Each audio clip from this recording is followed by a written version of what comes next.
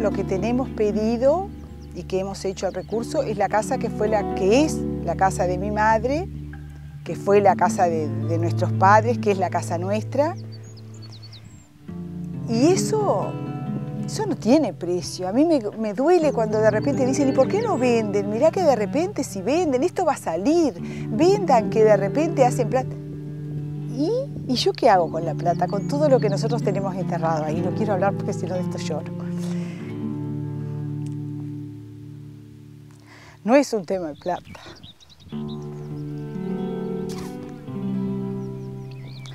Hay, hay mucha cosa ahí que no es plata el que de repente se maneja solo con lo económico, nunca lo va a poder entender.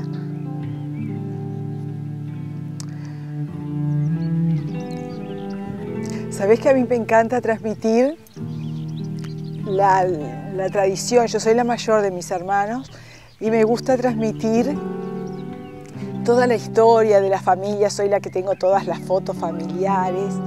Este, entonces siempre me encargo de hacerle, bueno, primero a mis hijas, a mis sobrinos que fueron los que vinieron después y ahora a mis nietos, hacerles toda la transmisión de, de, la familia, de que ellos quieran esa gente que fue tan importante para nosotros y que hoy no está.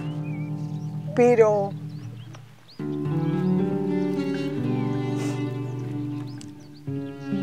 gran parte de todo eso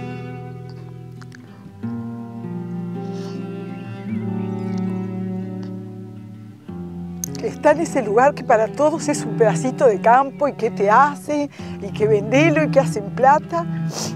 Está nuestra historia, están nuestros sentimientos, está nuestra familia, es de los abuelos, es parte que también de repente, hasta de anterior a bisabuelos, de bisabuelos. No es fácil, la gente de repente no lo entiende y sabes que siento una gran impotencia porque aparte de todo este dolor, siento que somos los malos de la película. Claro, porque, ay, porque nos hacen ver como que somos los estancieros, que son... Nosotros, dividido entre cuatro, es un pedacito que tenemos ahí. Pero es un pedacito que no lo vendemos por todo el oro del mundo.